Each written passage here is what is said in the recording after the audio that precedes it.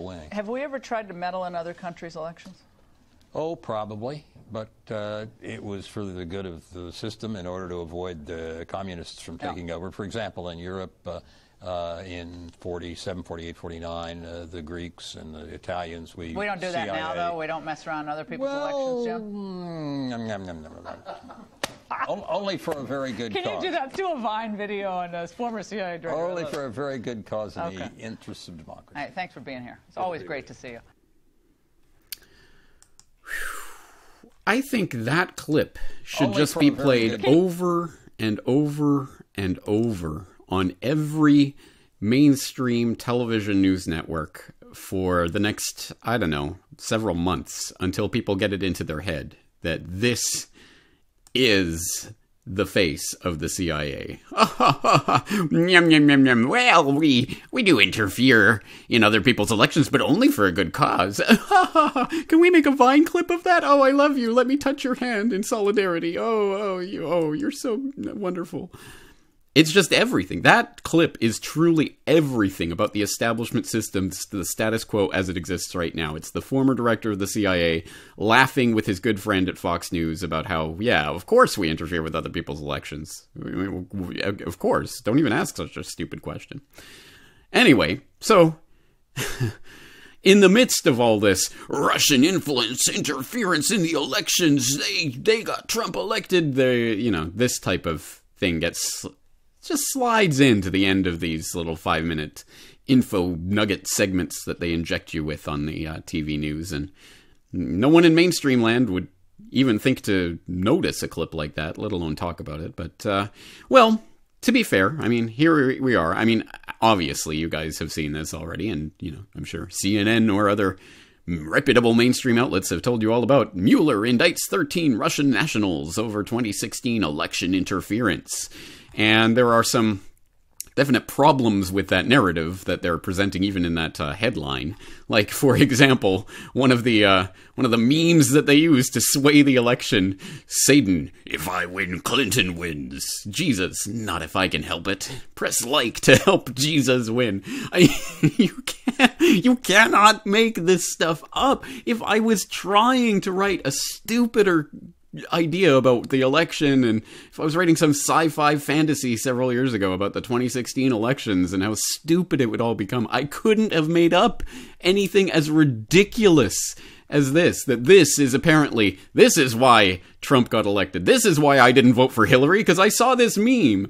It's so unbelievably stupid and no one i mean no one is taking it seriously and there are so many holes that you can pick apart in this including the fact that, oh, yeah, by the way, uh, most of these Russian ad buys occurred after the election. But, I mean, don't let a timeline get in the way of a good story. Or, how about this one? Hillary Clinton outspent Russians 53 to 1 and lost.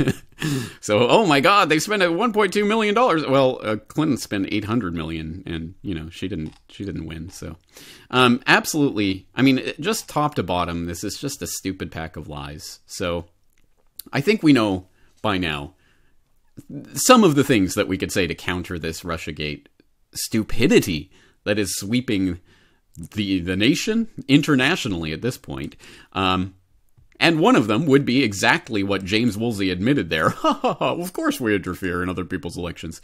And this is not controversial in the least. In fact, this is a part of Russiagate that has been talked about before although not enough, not stressed enough. But yes, I mean, even Channel 4, America's long history of meddling in other countries' elections, or the LA Times, the U.S. is no stranger to interfering in the elections of other countries, or NPR, uh, database tracks history of U.S. meddling in foreign elections.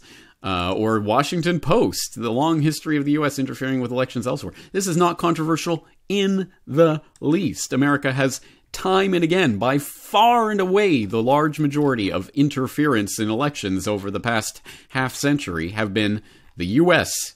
interfering in elections. According to the researcher, this Carnegie Mellon researcher, there were 117 partisan electoral interventions between 1946 and 2000. That's around one of every nine competitive elections held since the Second World War. And the majority of these, almost 70%, were cases of U.S. interference. But it gets worse. These are not all from the Cold War era. 21 such interventions took place between 1990 and 2000.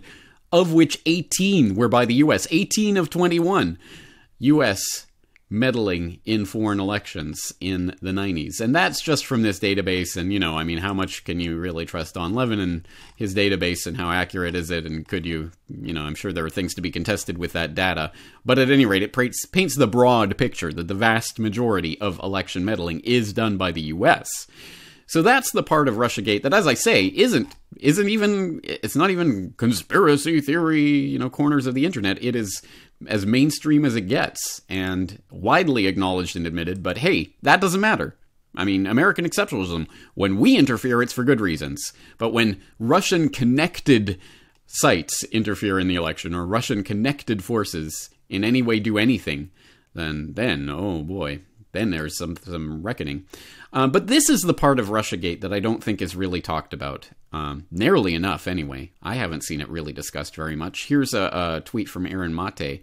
Uh, Damn you, Russian bots, with your widely read mainstream sources and your factual accuracy, referring to a Washington Post headline Russia used mainstream media to manipulate American voters, pointing out that Russian controlled Twitter accounts, Albright said, were far more likely to share stories produced by widely read sources of American news and political commentary. The stories themselves were generally factually accurate. This is the part that it boils down to is that even if we were to swallow hook line and sinker the uh, the DNC story that it was a Russian ha- they they hacked our our, our our our emails, they hacked our database and thereby hacked the election.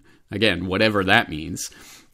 Uh, the only thing they are saying is these dastardly Russians have shown the people the truth, the actual real truth about what we were saying to each other. I mean, that is the point of all of this. It's the truth.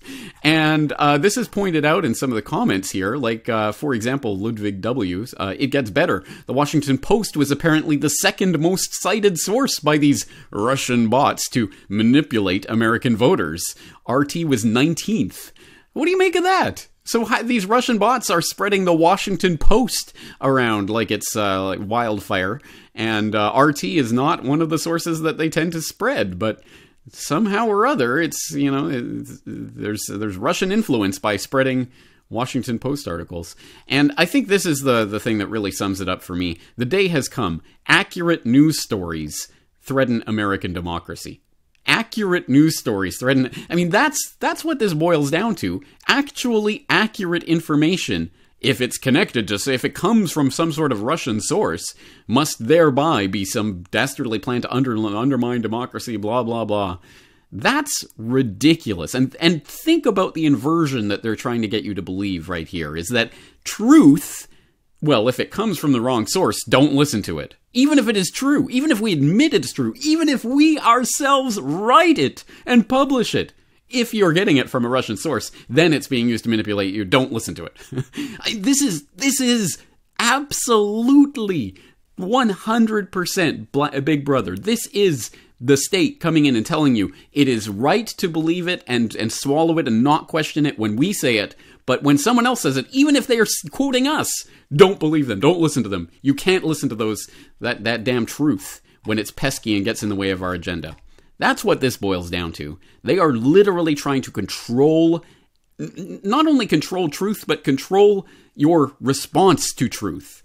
And that is I mean, if they accomplish that, and they already have, as I'm sure many of my American listeners know from their daily conversations with the indoctrinated uh, people out there, uh, they already have, to a large extent, convinced people 100% hook, line, and sinker to go along with this. If you're hearing this from a Russian connected source, whatever that means, and keep in mind, the you know the, the the the lords of what is and what is not propaganda have deemed the Corbett report Russian propaganda, despite the fact that I'm not Russian, I have no Russian contacts, no Russian sources, I've never set foot in Russia, I'm not on Putin's payroll, but but what I say is is in line with Kremlin's foreign policy because it's against NATO and NATO imperialism.